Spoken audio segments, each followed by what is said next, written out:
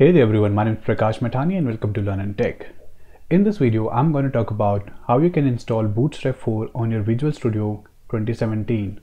So I have VS 2017 installed in my system and I'll install Bootstrap 4 in my project. So how we can do that?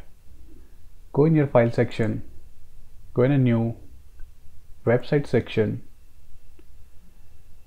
In the installed section there is a visual C sharp. I'm selecting you can select either visual basic or visual C sharp. And I'm gonna select ASP.NET empty website and select the location where you want to save this particular one. So I'm gonna save it in my desktop and click on OK. Once your solution is there we'll see how we can install Bootstrap 4 in our project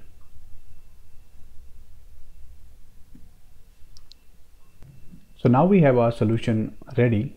This is our solution name desktop 2 right click on this.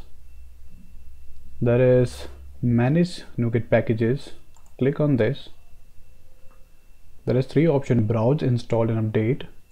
Go in browse section. Type bootstrap 4 and the first one is your bootstrap 4 version. You can see that v 4.0.0 click on the download one and the pop-up will come up there and click on ok.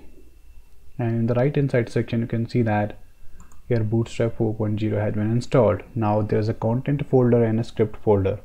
If I go inside a content there is all CSS and maps file are there. And in the script file in a script folder there is all script file are there there is also popper.js that has been introduced in a bootstrap 4 we'll talk about when we'll be talking about the detailed bootstrap tutorial. So this is the way uh, you can install bootstrap 4 in your visual studio project and now we'll create a simple bootstrap page. Right click on your project. Go and add section. Web form. Click ok there is my default page there.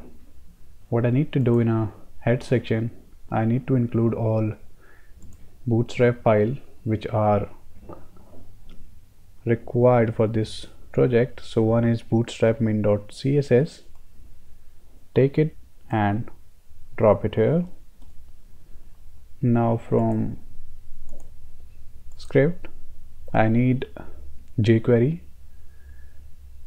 so first of all I will include bootstrap jQuery 3.0 min version that is there. Bootstrap min.js I need that which is here. I will drop it here. And there is a popper.js also. So this is popper min.js here. Now all the file are there what I need to do in a form section there is a div created inside that div. I will paste my simple bootstrap code and I will save the project. Once the project is saved go in a debug section click on start debugging. We'll see that how it's looking in browser section